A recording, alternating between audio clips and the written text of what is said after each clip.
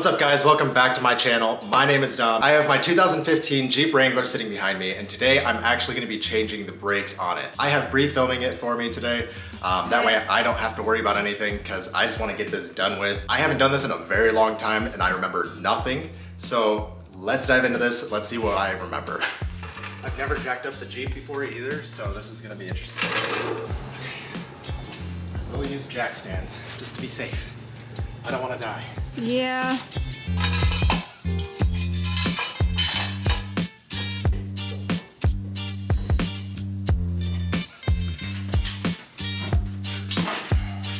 Honestly, these brake pads are fine. I don't know why they're squealing so badly. Hopefully it's not the front ones. Yeah, that would have sucked. That would suck.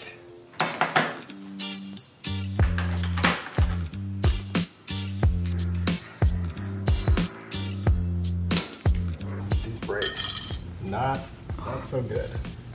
Definitely not 22 millimeter. Ah, perfect.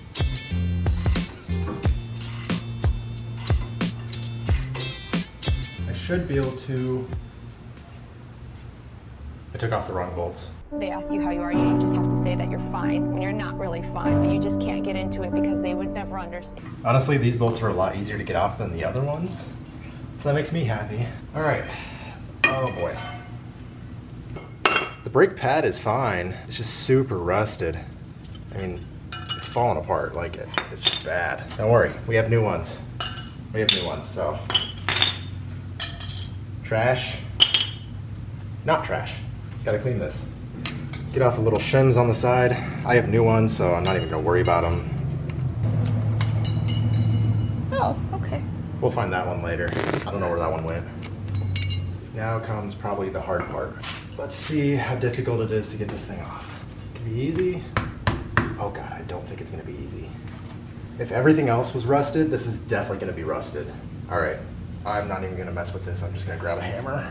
So first we'll try this one.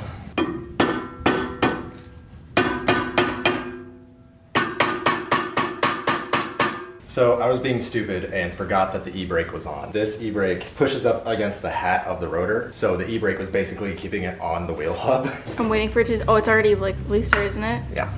It's gonna pop off now.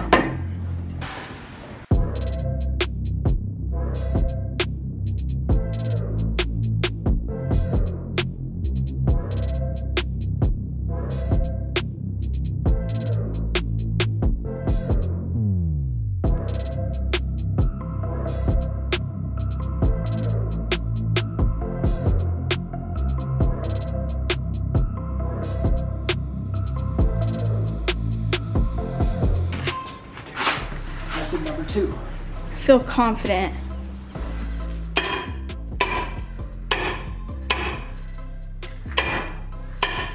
Oh, oh, it's moving. It came off. Oh my gosh. He had to go back to Walmart to get a bigger hammer, so he got the Mac Daddy. It's off. I did it. Oh man, look at all that rust. I'm gonna like Sharpie it on there just to say Mac Daddy. Oh my gosh, you should. yes! It oh, worked. yeah. We have been out here for hours. Oh I told you I needed just a bigger hammer. There it is. You did it. We have been out here for three and a half hours. Mac Daddy. That should be the title of this video.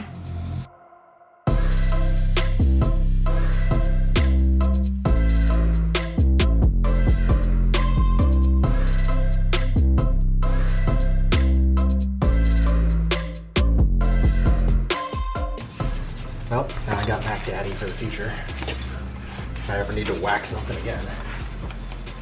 Looking pretty nice. Looking good. It's difficult because you want to make sure that all of this is smooth and there's still so much rust on there. Now to clean everything um, with brake cleaner because it comes from factory with grease on it or like oil and you don't want that getting on your brakes so then it's gonna make your brakes not work. So spray everything down with brake cleaner and then should be good from there.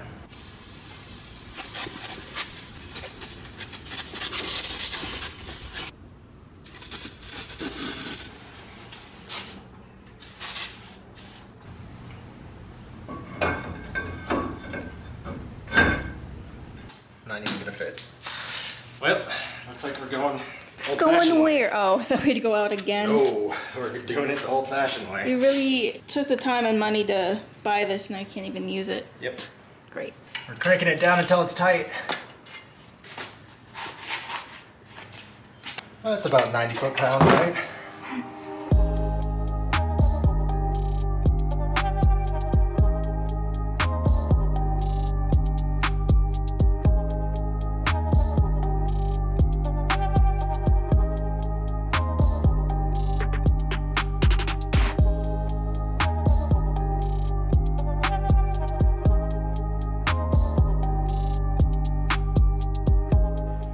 Okay, where are we at? Got the bleeder valve open, finally. Now we're compressing the brake caliper piston before we put this back on.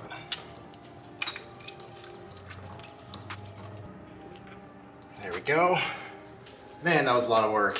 That was crazy. I didn't expect it to be that difficult, especially since the rotor was like the big hardest part out of all of that.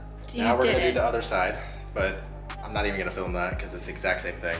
We throw the wheels back on, pump the brakes, make sure that it's got brake fluid, fill up the brake fluid reservoir, and then we're good to go. That's it. Thank you guys so much for watching. Hopefully you liked this video. If you did, make sure to subscribe to my channel. Also come back next week for another 350 or Jeep video, and I'll see you in the next one.